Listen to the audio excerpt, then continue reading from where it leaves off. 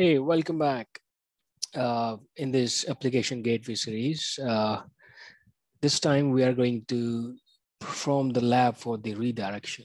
There is one more routing method that application gateway provides, and that's pretty useful. As the name says, redirection, the common use case or scenario is uh, for, for many applications or web application, uh, is to support automatic HTTP to HTTPS redirection to ensure all communication between app and its users occurs over an encrypted path. That's the first use case. Uh, you can also redirect it to uh, external website, right? In certain case, if you want that uh, this to be redirected to uh, external website, so you can do that as well. Uh, so there are many use case as per your uh, requirement. So the whole purpose of this lab is to understand how we can configure redirection and what exactly happens once we uh, configure the redirection. So let's quickly do that. So I'm on my portal trying to create the application gateway for this lab. Uh, the prerequisite is same. I have two virtual machines. The same if you're following me with this series app gateway. The entire setup is same.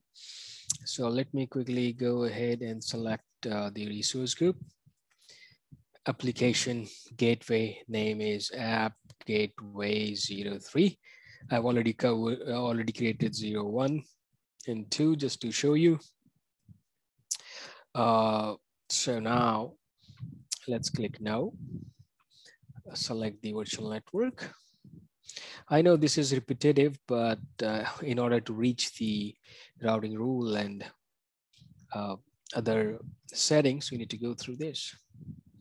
So here, here we go, backend. Now, if I click on uh, add backend pool, I can create one backend pool, right? I can add here as you as uh, always I've informed. So let's make it add and go to the configuration. Now here we have the backend pool where the request will landed, where the request will listen is the front end and the routing rule is where the magic happens. So we do need listener for this. Let me call it listener 01 or listener HTTP. This will listen on HTTP let me call it, oh, I'm sorry, I just made a mistake. This is the name of the rule. So rule zero, one, listener HTTP, where it's gonna listen on HTTP on the public IP. Okay, now I'm gonna edit. Now on the backend pool, you can see the target type, redirection. I can choose the redirection here. Now, it could be listener or it could be external site. Okay, I do not have any listener created right now. That's why it's not showing here uh, because this one is already in use. The first that we have created, it's already in use.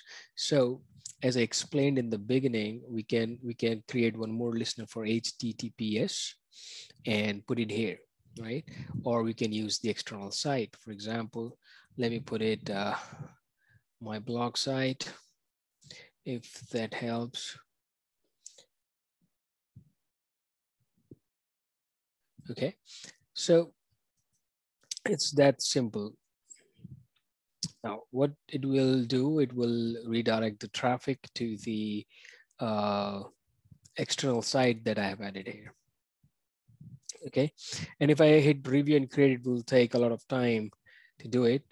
And uh, just to save time, I have already created two gateways here. Let me take you to these gateways. App gateway. Now, here you can see almost, not almost exactly the same configuration under the rules. If I click here, this is the basic rule and the backend target is redirection. And this is my website, okay? There are uh, multiple redirection target like temporary, permanent, found, see you can use as per your need. Okay, so uh, click here I'll share the uh, MS Doc link in the description box if you want to read a little more about it. So this is the lab. So I'm focusing on the on this uh, task part of it. So this there, there is the rule and there is the listener. But as I complete this entire lab, you will know how what is redirection routing rule and how we can use it? What are the usual cases? So this is the very first one. So this is the default listener which is listening on port 80 and applying on this redirect rule which is uh, my blog site. Okay so now if i go come here on the overview page copy this uh, front end of the application gateway and try to browse you see, it is landed to my uh, blog, my uh, external site. Okay, let me close this.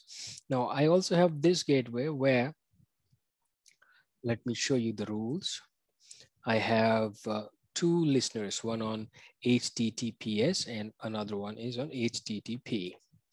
Okay, and this one is hooked up with uh, this rule where the redirection is another listener, which is HTTPS.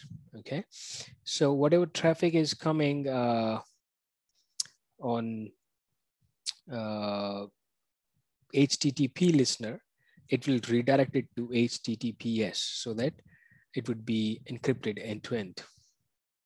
Okay. So it will ensure all communication between app and its user occurs over an encrypted uh, path. All right, so let me show you the listeners. There are only two listeners, nothing much. Front end we seen, HTTP setting is the single one. I also have a backend pool, right? Where I've configured the same Ubuntu, uh, Ubuntu server, okay? Let me cancel this. And let me go to overview and copy this. Now, before I, uh, okay, it's fine. Let me get into the incognito mode. Uh, come here and you see uh, I have configured the listener on 8080. That's what I want to show you. I forgot to mention, I think. You see 8080, it's not on 80. I just wanted to show you the port as well and forgot about it.